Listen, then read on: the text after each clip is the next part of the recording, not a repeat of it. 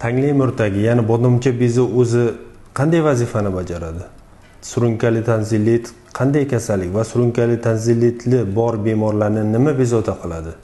Surunkali tanzillit boshqa a'zolarga qanday ta'sir qilishi mumkin? Va qanday holatda surunkali tanzillit operatsiya yo'li bilan va qanday holatlarda dori darmon bilan davolanadi? Men bo'tayev azizbek shuhratovich toshkent tibbiyot akademiyasi ko'p tarmoqli klinikasi lor shifokori ushbu rolik davomida quyidagi savollarga javob berishga harakat qilaman. Assalomu alaykum. Tangli murtagi bodomcha bezlari o'zi qanday vazifani bajaradi? Tangli murtagi bu himoya vazifasini bajarib tashqi muhitdan pastki nafas yo'llariga va ovqat hazm qilish yo'llariga infeksiyani kirishini oldini oladi. Lekin bu faqat sog' tanglay murtagi uchun xos. A surunkali yallig'langan tanglay murtagi esa bu vazifani bajara olmaydi. Aksincha infeksiya manbai vazifasini bajaradi. O'zi surunkali tanzilitli bemorlarni nima bezovta qiladi?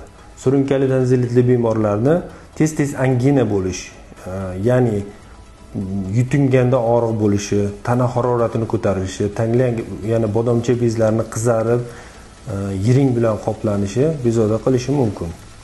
Undan tashqari e, tangli murtagida yiringli probkalarning hosil bo'lishi buning natijasida yutinganda tomoqda noqulay hisning paydo bo'lishi og'izdan sassiq hidning kelishi va tomoqda yutinganda og'riq hissini paydo bo'lishi bezovta qilishi mumkin. Undan tashqari tez tez charchash ish qobiliyatini pasayishi umumiy holsizlik bemorni bezovta qiladi.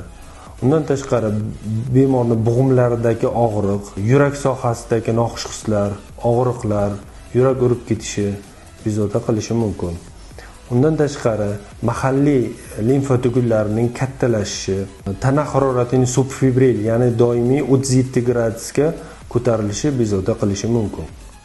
Surunkali tanzillit qanday muhim a'zolarga ta'sir qilishi mumkin? Surunkali tanzillit avvalambor bu bo'g'imlarga ta'sir qiladi. Buning natijasida revmatizm poliartrit kasalliklarini keltirib chiqarishi mumkin. Undan tashqari buyrakka ta'sir qilishi mumkin. Ya'ni buyrakda o'tkir va surunkali glomerulonefrit pielonefrit kasalliklarini chaqirishi mumkin. Yurakka ta'sir qiladi. Ya'ni rimokardit miokardit va yurak klapanlarining zararlanishiga ham olib kelishi mumkin. Undan tashqari surunkali tanzili teri ko'z va qalqonsimon bez kasalliklarini ham keltirib chiqarishi mumkin. Qanday holatlarda tangli murtagi operatsiya ya'ni jarrohlik yo'li bilan davolanadi?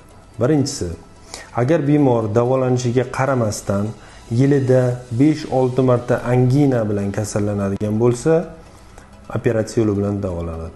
Undan tashqari bemor konservativ davo olyapti lekin bir necha vaqt o'tmasdan yana e, yiringli probkalar tanglay murtagida paydo bo'lyapti bu holatda. Undan tashqari bemorda surunkali tanzilit bor va bu surunkali tanzilit boshqa a'zolariga ya'ni buyrak bo'g'imlarga jigar e, va yurakka ta'sir qilgan va bu laborator va boshqa instrumental tekshirishlar bilan tasdiqlangan bo'lsa operatsiya yo'li bilan davolanadi.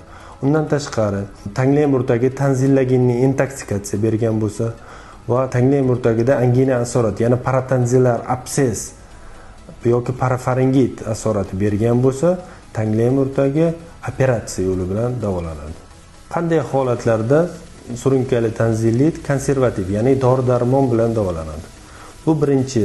Agar bemorda surunkali tanzilitning oddiy shakli bo'lib hali boshqa a'zolarga ta'sir qilmagan bo'lsa bu konservativ davolanadi. Yoki ikkinchisi agar bemorda operatsiyaga qarshi ko'rsatmalar bo'lsa konservativ yo'l bilan davolanadi.